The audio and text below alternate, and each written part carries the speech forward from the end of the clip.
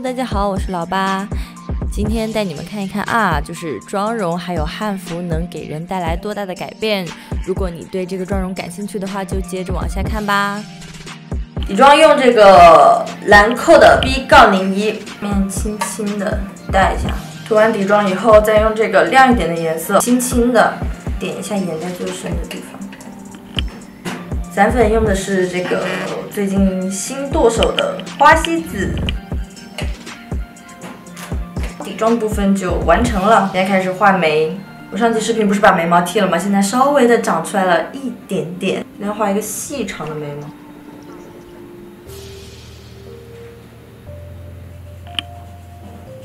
这个眉毛画完了，现在单看这个眉毛可能会觉得有一点怪啊，没关系，把眼妆画上就好了。今天我来开一包新刷子，这个逆龄的刷子，一共是十三支，每一支都有独立的包装，上面是有编号的啊。先用这个一零八，眼影用的是这个完美日记和国家地理合作的，先用这个颜色给眼皮打个底，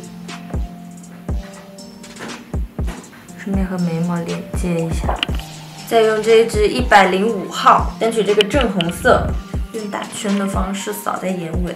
再用这个一零六号的斜角刷，用这个颜色叠在上眼皮的眼尾，先描个内眼线。今天假睫毛用的是这个自然款，先贴第一层，然后把这个睫毛从中间剪开，这一节就贴在眼尾。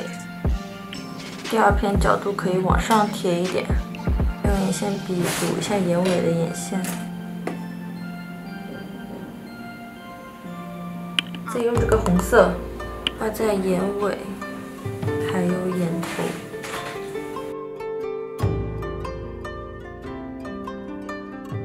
下睫毛就用睫毛膏刷一下。我两个眼睛是不对称的，所以这边要贴一个美目贴。口红先用这一支打底。我刚把我们家地暖关了，然后开了一个冷空调来降温，实在是太热了。我第一次在北方常住，真的这边的暖气惊到我了。我每天在家里面穿的仿佛在夏天，还出汗。再用这一支近期超爱的可可熊，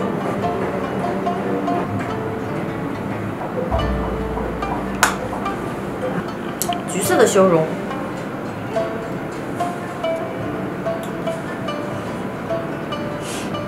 我当时好像是用了这个亮片色的，叠在眼皮这个地方，嗯，就很亮。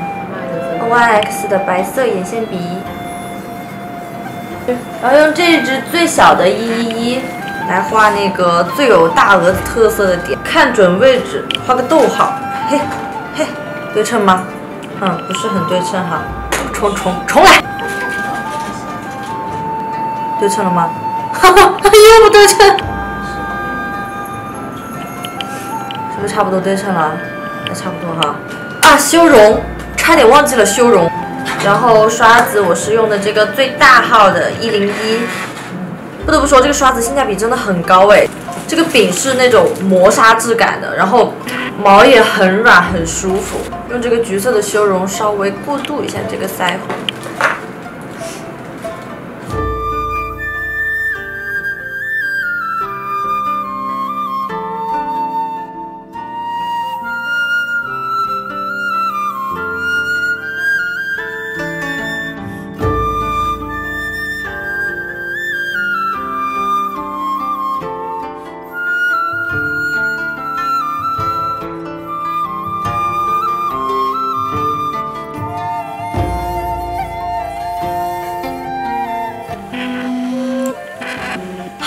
回来了。本来今天是要给你们录一个发型教程的，就是这个头。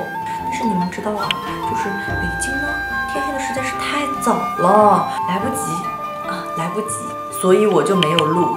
但是没有关系啊，咱们来日方长，有缘再来给大家录这个发型啊。其实这个发型你看非常的基础，你们在其他的发型博主那里应该也能够搜到这个发型吧。